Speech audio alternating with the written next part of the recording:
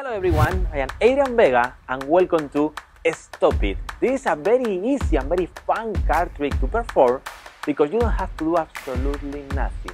The spectator do everything for you and at the end you're gonna have one of the most impossible card tricks in your hand.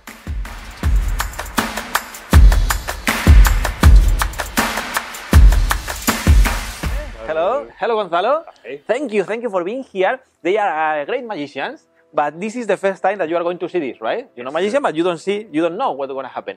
Because first I put here two prediction, and also I'm gonna use a deck of cards.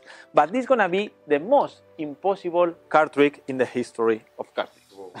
there are a lot of card tricks that seems impossible. They are some of them that they are difficult, but this is completely impossible, and you don't, you are going to understand why in a moment.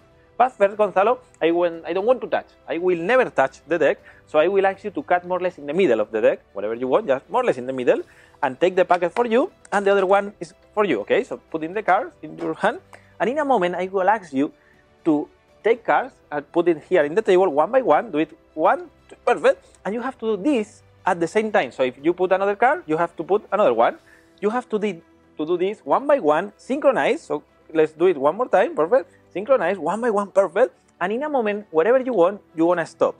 If you stop first, you have to stop as well. And if you stop first, you have to stop. So whatever you want, just oh, he stops. he stopped there. Yeah, he was fast. I was talking, but you stopped. you go. You are the boss.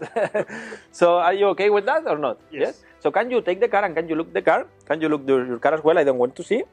And can you show the car to the camera so everybody can remember two cards, one for you and one for you, right?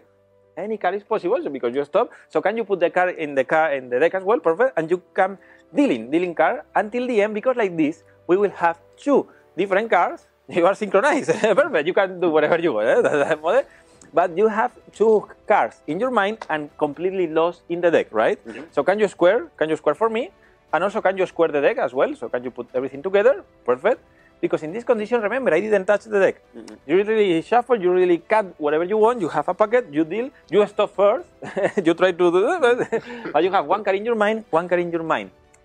And I know this is impossible because your card was a black card, mm-hmm. was a spade, mm-hmm. and was the three of a spade, right?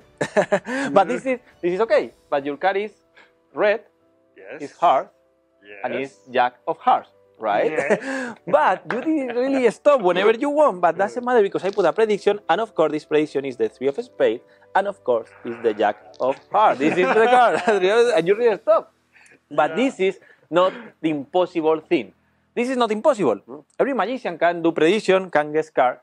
The impossible thing about this trick is like I didn't touch the deck, and you imagine that you took the three of spades, and you imagine that you stop on the jack of hearts. And that is impossible because in this deck, mm.